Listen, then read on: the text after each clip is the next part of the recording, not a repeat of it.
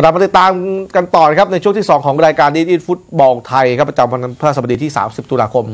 2557นะเดี๋ยวช่วงนี้เราจะมาติดตามเรื่องราวของฟุตบอลโตโยต้าไทยพรีเมียร์ลีกแต่ก่อนอื่นครับเดี๋ยวเฉลยคำตอบจากคำถามวันนี้ที่มีผู้โชคดี โอ้โห มาเร็วเหลือจากโคราชนัดแรกเหรอนะโคราชจากโคราชคนโคราชคำถามว่าอะไรนะเอ่อนักเตะบุรีรัมย์คนแรกที่ทำประตูได้ในเกมลีกปีนี้คือใครคนโคราชเป็นคนตอบถูก ผมยังนึกไม่ออกเลยครับ แต่ก็ยินดีกับโคราชอีกครั้งได้ไหมอ่าอ่ายินดีด้วยนะฮะขึ้นก็การแล้วก็เดี๋ยวพี่น้องโคราชนี่วัน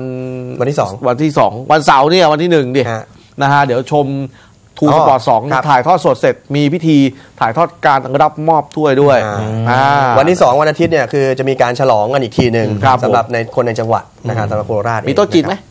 อีกแล้วเหรอ อีกแล้วเหรออาจต้องขอกับดกโคราชนี่ต้องคุณเชียงป่ะอ๋อครับผมเออนะเอามาเฉลยนะฮะคำถามที่ว่านักเตะบุรีรัมย์คนแรกที่ทำประตูได้ในเกมลีกปีนี้คือใครคำตอบก็คือฮาเวียร์ปาตินโยครับเป็นนักเตะบุรีรัมย์คนแรกที่ยิงประตูได้ในเกมลีกปีนี้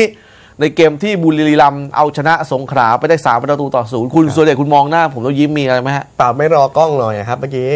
กล้องแคบมาไม่ทัน เอาเขาก็ต้องสวิตช์ไปเองผมเฮ้ยเดี๋ยวนี้เขาเก่งนะครับผมเดี๋ยวนี้เขาเก่งเขาเล่นเขาเล่นกล้องเก่งนะคุณสัพยอกผมนะนี่คุณสัพยอกนี่ขอโทษนะครับผมนี่คุณฉีกหน้าผมออกอากาศแล้วมั้ยรายการรายการสดนะไอ้ยโอ้โหวงการนี้อยู่ยากขึ้นทุกวันแล้วนะมาที่เอ่อโปรแกรมแล้วก็ช่องทางในการถ่ายทอดสดของทรูสปอร์ตกันดีกว่าครับ ในช่วงนี้ครับ สำหรับโตโยต้าไทยพรีเมียร์ลีกนะครับ นัดที่ 38 ของฤดูกาลก็กลับมาถึงแล้วแข่งขันกันครบ 10 คู่ในวันอาทิตย์ บุรีรัมย์พบกับเพื่อนตำรวจนะครับ ทาง2 for you แล้วก็2 sport hd 2 ชมบุรีพบกับ TOT SC ครับ2 sport hd 3 สิงห์ท่าเรือกับศรีสะเกด2 sport 2 นะครับ SCG เมืองทองพบกับ Bangkok United 2 sport 5 Air Force Central กับ China Hornbill 2 sport 6 แล้วก็อีก 5 คู่ สุพรรณบุรีพบกับสงขลาทูสปอร์ต7นะครับ เชียงรายยูเต็ดพบกับ BC เทโรศาสนะทู352 อาร์มี่พบกับโอสถสภา M150 สระบุรีทู358ปตทระยองพบกับบางกอกก๊าซทู694 แล้วก็เจ e สมุทรสงครามพบกับราชบุรีมิตรผลทู695 ครับ ก็เหมือนเดิม วันอาทิตย์เนี่ยก็ติดตาม 10 คู่นะครับนะฮะก็เราขออนุญาตหยิบ เฉพาะคู่ที่ยังยังมีผลสำคัญครับ กับทั้งสองเอ่อกับทีมที่จะลงแข่งขันในเกมนั้นๆ มาพูดถึงกันแล้วกันนะครับ ส่วนคู่อื่นๆที่อาจจะเรียกว่าเล่นตามโปรแกรมส่งท้ายฤดูกาลเนี่ยก็ขออนุญาตที่จะเอ่อข้ามไปก่อน เพราะว่าครับด้วยเวลาที่ค่อนข้างจะจำกัดนะครับ ก็คู่ที่จะพูดถึงคู่แรก Air Force Central FC เจอกับ ชัยนาทฮอร์นบิลในฝั่งของ Air Force ก็แน่นอนว่าตกชั้นไปแล้วขณะที่ชัยนาทฮอร์นบิลนี่คือเกมสำคัญมาก ๆ ครับ ใช่ครับAir Force อันดับ 19 นะครับ 29 คะแนนส่วนชัยนาทตอนนี้อยู่อันดับ 15 มี 43 คะแนน ซึ่งถ้ามองตรงนี้ถึงตารางคะแนนก็หมายความว่ามีแต้มเหนือโซนตกชั้นแค่แต้มเดียวครับนะครับวันนี้ Air Force ในเกมนี้เนี่ยจะไม่มีอภิสิทธิ์ขวนขวายที่โดนแบนโอ้ตายส่วนคชัยนาทขมกจะไม่มีเท้าซ้ายของสุรเชษฐ์ งามทิพย์ครับโดนแบนเหมือนกัน แต่ต้องสนใจในตรงสุดจุดของชัยนาทเกมล่าสุดที่พบกับชนบุรีผู้ครัสาบประตูเจ็บไป 2 คนครับอ่าอะอันนี้ก็ต้องมาตามดูว่าสุดท้ายแล้วจะใช้ใครลงได้บ้างซิออนพาวเวอร์อะผมไม่ใช้แล้วเขาใช้มือสามมาก่อนพาวเวอร์นี่เล่นหมดทุกตำแหน่งจริงพูดถึงตำแหน่งผู้รักษาประตู Air Force เองเนี่ยปีนี้ผมนับมา4 5คนแล้วครันะบผมล่าสุดที่จักรพงศ์เรนุมาศครับเหมือนกันไล่มาตั้งแต่แบรนด์เทวาอ่าตามสมบัติแซมมวนปอคันนิงแฮมครับโกสินโกสินเหมเหมบุตรอ่าล่าสุดจักรพงศ์เรนุมาศๆครับผมก็เป็นมีปัญหาในเรื่องของของความสมบูรณ์ของนักเตะด้วยครับนะครับอย่าลืมว่า Air Force เป็นอีกทีมหนึ่งที่มีค่าเฉลี่ยของอายุค่อนข้างสูง เพราะฉะนั้นลีกระดับแบบเนี้ยคุณเอานักเตะ senior มาเล่นเยอะเกินไปมันก็มันก็อันตรายหน่อยนะครับแล้วที่สำคัญคือเอ่อได้ได้พูดคุยกับทางคุณวิทย์วราศักดิ์ด้วยครับว่าคือเชฟทีมที่นับตั้งแต่เจอ ในช่วง 3 4 เกมข้างหลังเนี่ยพยายามเน้นนักเตะที่สมบูรณ์ที่สุดครับลงสนามโดยไม่คิดว่าคนนี้จะเก่งไม่เก่งไม่รู้แต่เอาคนที่พร้อมที่สุดครับนะก็จะได้เห็นว่าในเกมที่เจอ Bangkok United เนี่ยก็จะมีนักเตะใหม่ๆ ลงฮะลงลงกันหลายคนก็ตอนนี้ก็มีใครอย่างนัทนันัททพลพลยังเจริญนี่ก็เด็กอยู่19 ปี ซึ่งก็อยากให้อยากให้มาลองลองดูที่ว่ามันชิมลางยังไงบ้างอืมนะฮะยาวคือมันก็ยังเป็นเป็นทุกอย่างของของ Air Force อยู่ครับผมนะฮะพวก ฟังซุงวาลีจินโฮก็อาจจะได้ออกสตาร์ทเป็นตัวจริงบ้าง ในในเกมนี้ก็พอมีโอกาสก็ยังคงมีโอกาสเพราะตัวตอนนี้ไม่มี ตอนนี้ไม่มีก็ต้องยอมรับว่าช่วงท้ายฤดูกาลเนี่ยแน่นอนว่าสมาธิของนักเตะ Air Force เองก็ก็ต่างคนต่างไปเหมือนกันนะก็ต้องแสดงความเป็นมืออาชีพเหมือนกันว่าในเกมสุดท้ายที่จะต้องเจอกับชัยนาทเนี่ยเล่นท่ามกลางแฟนบอลด้วย ต้องต้องพยายามตอบแทนเหมือนกันลุงโรจน์สว่างศรีมีโอกาสลงไหมฮะก็ต้องเช็คอะผมครับผมดูแล้วนักเตะแต่ละคนก็สภาพแย่นุ่นโรจน์ก็ ต้องยอมรับว่าเวลามันล่วงเลยไปจริงครับแต่ที่แล้วก็พลาดเหมือนกันใช่นะฮะนะ พลาดเหมือนกันอะส่วนชัยนาทบ้างแล้วฮะโอ้โหเกมล่าสุดนี่ต้องบอกว่า คือทำให้บุรีรัมย์นี่กลับมาลุ้นแชมป์อีกครั้งนะครับ หลังจากที่สามารถจะเสมอกับทางชนบุรีมาได้ ก็ก็ต้องบอกชมว่าชัยนาทเนี่ยคือการเล่นในบ้านเนี่ยมันมันต้องตอบแทนเหมือนที่บอกว่าการเล่นในบ้านเนี่ยมันต้องทุ่มเททุกสิ่งทุกอย่างครับ นะแล้วก็การ ที่ทีมชัยนาทเองเนี่ยมาอยู่ในสถานการณ์เนี้ผมว่ามันก็ไม่สมควรเหมือนกันอืมนะครับแล้วก็วันต้องชมก็คือจิตปัญญาเนี่ยคนที่ยิงประตูตีเสมอเนี่ยครับก็จริง ๆ เป็นผู้เล่นที่บอกตรงๆว่าถ้าเกิดมีตั้งแต่ในช่วงเอ่อต้นฤดูกาลเนี่ยผมว่าทีมชัยนาทไม่อยู่อย่างนี้เจ็บไปเจ็บมาผ่าหัวเข่านะครับต้องต้องต้องขาดตัวไม่คือตัวลุกแล้วก็สร้างสรรค์เกมได้เนี่ยไป 6 เดือน 7 เดือนเนี่ยอืมมันเป็นอะไรที่เสียหายครับนะครับ เมื่อวานน่าสนใจตรงชัยนาทส่ง 11 คนแรกเป็นไทยล้วนเลยใช่อืมอันนี้น่าสนใจมากๆใจกล้ามากอืมไม่ผมไม่แน่ใจว่าใจกล้าหรือเจ็บว่าสภาพเจ็บ ที่มีมากอยู่บังคับ นะเออ ซีออนพาวเวอร์ก็ไม่สมบูรณ์ อืม โจแต่เกินก็ยังหายจากเอ่ออาการขา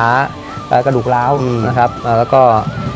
เวลารี่เคียกเองก็ครับมีการบาดเจ็บ แล้วก็พาร์คเองก็ถูกแบนอืมนะครับแมตช์หน้านี่ไปเล่นกับแอร์ฟอร์นี่คิดว่าลงมาได้ครับนะครับก็ถือว่าเอาตัวรอดได้ในเกมระดับเจอกับชนบุรีด้วยผู้เล่นไทยล้วนๆครับนะฮะคือตัวผู้เล่นของชยนาทยังยังมีเหลือเป็นเป็นกระตักละอืมนะครับอืมเพียงแล้วโอเคก็ก็เลือกใช้ในในเกมที่เหมาะสม แต่ก็คือถ้าดูเกมเกมเนี้ยจริงๆชัยนาทเองในบ้านตื้อพอสมควรนะครับในขณะเดียวกันก็ต้องมองว่า โชคก็ยังเข้าข้างชัยนาทอยู่นะอืมอืมนะฮะมันมันมันต้องต้องมีโทษบ้างอืมนะครับคุณกระสมมาคือการเล่นในบ้านผมบอกว่า คือนักเตะไทยเองจะดีอย่างคือมันจะช่วยกันเล่น มันสามารถสื่อสารกันได้ เพราะว่าสถานการณ์บอกตรงว่ามันค่อนข้างที่จะลำบากมากอืมและการเจอทีมที่กำลังจะคั่วแชมป์เนี่ยโอ้โหผมมองว่ามันมันเป็นอะไรที่ที่ทุกคนมันต้องให้ความร่วมมือกันแล้วอะครับนะคือถ้า คือมองว่าแต้มหนึ่งที่ได้ชนบุรีเนี่ยถือว่าเป็นแต้มล้ำค่ามากโอ้โหยิ่งกว่าสามคะแนนนี่นี่สามคะแนนนี่ฮะ ๆ เพราะว่าพวกเขาเนี่ยมี 43 เหนือเหนือทีมที่ตกชั้นอยู่ใช่หนึ่งคะแนนใช่นี่คือใช่ แต้มสำคัญมากๆนะฮะสถานการณ์ของการตกชั้นผมเรียนนิดนึงแล้วกันตอนเนี้ยถ้ากรณีที่สิงห์ท่าเรือโดนตัดแต้มนะครับสิงห์ท่าเรือจะเป็นทีมที่ตกชั้นอยู่ ใช่ ในอันดับที่ 16 มี 42 คะแนน อันดับ 15 คือ TOT 42 คะแนนอ่าชัยนาทเพื่อนตำรวจมี 43 คะแนนเท่ากัน เพราะฉะนั้นโจทย์ของชัยนาทเอง ชนะเกมนี้ไม่ต้องคิดอะไรเลย รอดหเลรือยเพียงแค่เสมอ อืมก็ยังมีโอกาส ผมว่าเสมอรอดเสเหมอตุก็ผรลอดคืออะไร เราต้องนึกภาพว่าอ่าวีรัมย์เจอกับเพื่อนตำรวจครับอืมวีรัมย์จะปล่อยโอกาสแบบนี้เหรออืม TOT เจอชนบุรี ใช่ เพราะฉะนั้นมันตัดกันเองอยู่แล้วอืมนะฮะ ก็ถือว่าหนึ่งคะแนนสำหรับชัยนาทผมว่าน่าน่าจะสบายสบายๆอืมครับ เพียงแต่ว่าไม่สบายสำหรับ เอ่อเสียแฮงค์เท่านั้นเองเพราะปีนี้โอ้โหทุ่มจนนะทุ่มจนเยอะอะครับนะฮะ นะคุณอนุชานาคาใสครับ ก็ลงทุนลงแรงกับทีมไปเยอะส่วนการเจอกันในเล็กแรกนี่น่าสนใจเพราะว่า Air Force บุกไปชนะได้ 3-1 ครับนะครับก็อะก็มองว่าน่าจะเอาตัวรอดได้นะชัยนาทปีนี้ ผมว่าน่ารอด อืม น่าจะรอดครับ นะเพราะว่ามันเป็นแมตช์ที่แบบว่า คือขอแต้มเดียว อืมอืมคือคือโจทย์ไม่ยากมากจุดไม่ยากมากอ่าแถมแถมเอ่อคู่แข่งที่ดิ้นรนด้วยกันเนี่ยไปเจอโปรแกรมที่ยากกว่าเจอของแข็งด้วยอืมใช่นะครับอะคู่ต่อมาเหมือนถูกหวยอะเออใช่นะนะฮะคือทำไมโอ้โหทำไมพลิกล็อกอะไรจริงๆนะฮะอะคู่ต่อมาที่จะพูดถึงกันนะฮะสิงห์ท่างเรือ เจอกับสีสะเกดสิงห์ท่างเรือเนี่ย คือถ้าไม่นับเรื่องการจะโดนตัดแต้มเนี่ยครับจริง ๆ พวกเขาไม่ต้องมาดิ้นรนแบบตนี้กลงสบายแล้วตกลงนับหรือไม่นับ ตอนนี้ยังก็ต้องนับแหละต้องนับไว้ก่อนอ่าเพราะการอุทธรณ์ยังไม่ผ่ายังใช่ยังไม่ยังใช่ยังยังไม่ถูกเข้าสู่กระบวนการครับครับก็สิงห์ท่าเรือนะครับ ตอนเนี้ยปัจจุบันมี 51 คะแนนครับอันดับที่ 9อย่างที่ผมเรียนไปคือถ้าโดนตัดไป 9 เนี่ยจะร่วงมาเป็นที่ 16 เลยครับนะครับเจอกับศรีสะเกดที่เกมนัดล่าสุดชนะจบละสบายเลย ชนะอาร์มี่ได้ 4 ต่อ 2 ตอนนี้อยู่อันดับ 13 13 นี่แถมนัดสุดท้ายยังมีลุ้นโอแซงโอสดเป็น 12 ด้วยครับนั่นก็คือสถานการณ์ของทั้งสองทีมตอนนี้ ดูสิงห์ท่าเรือก่อน สิงห์ท่าเรือเนี่ยพอมามอง head to head แย่กว่าชาวบ้านเขาด้วยอืมอ่าแล้วสำคัญคือถ้าแพ้เกมนี้เนี่ยจบเลยไม่ต้องลุ้นอะไรเลยครับ สิงห์ท่าเรือครับคุณสะสม